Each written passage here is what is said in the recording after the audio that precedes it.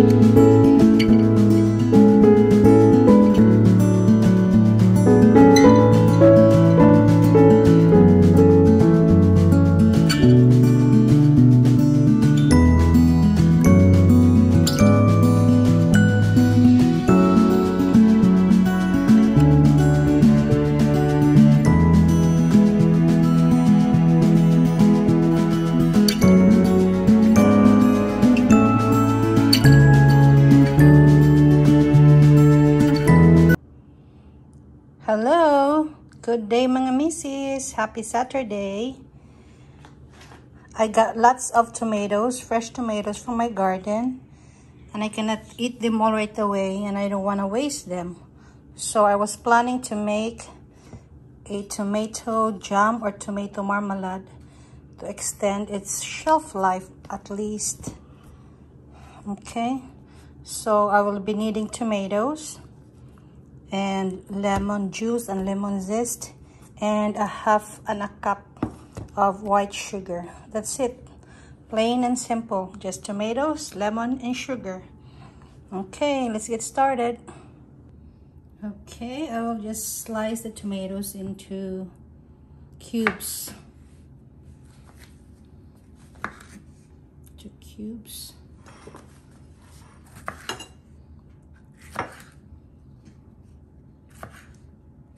just like so.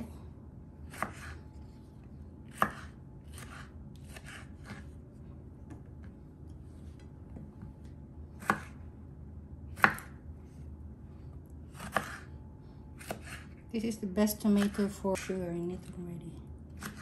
This will be sweet and savory. So just like that. Okay.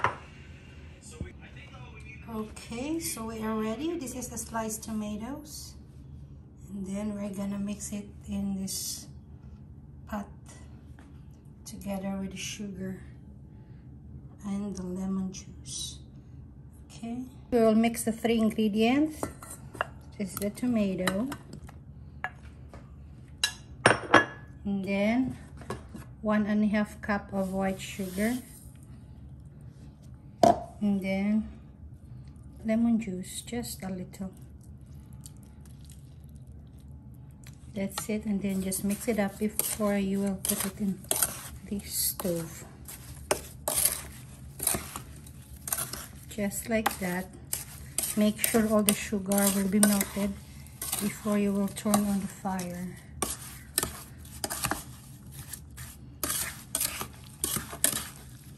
Okay okay. So now we will be cooking this in medium to high for five minutes until it's boiling or until it will reach the boiling point and then you will just put it back to moderate low. Medium low medium to low. Okay. Just keep stirring it so it will not scorch in the bottom this will be so delicious. This is an organic tomato from my garden. Make use what you have.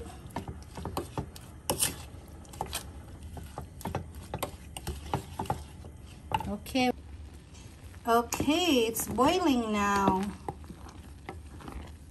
So we'll just stir it, stir it, stir it until we get the exact consistency.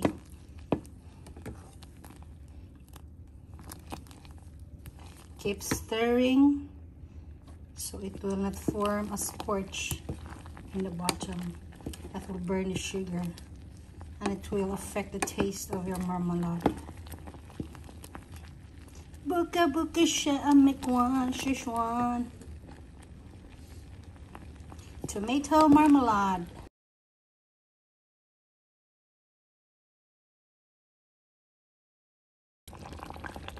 Okay.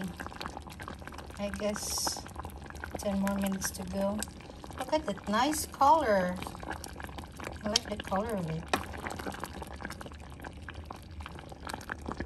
Looks so yummy. Tomato marmalade.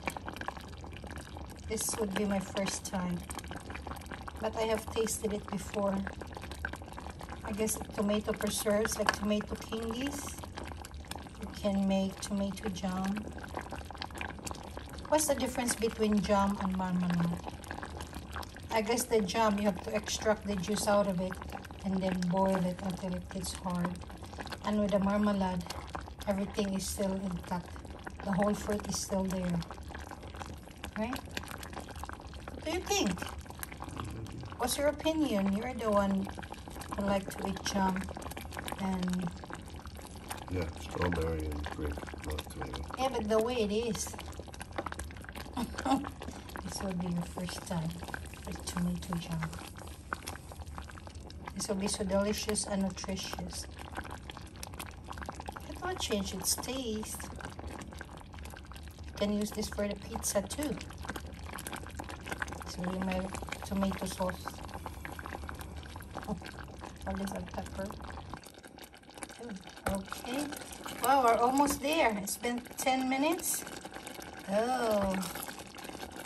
Did you see the difference? Wow. It looks so yummy.